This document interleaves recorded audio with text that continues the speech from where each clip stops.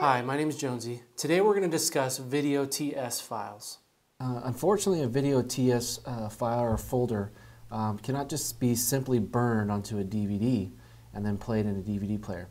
What you're going to need is a third-party app that will convert it into the right format so that your standalone DVD player can, can read it and play it.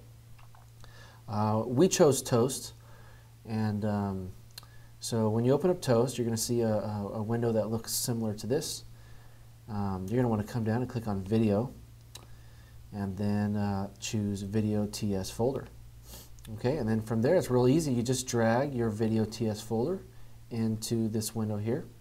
Um, and then you're going to come down here and choose Burn and insert your blank DVD and uh, Toast will convert it into a format um, that's viewable on a standalone DVD player.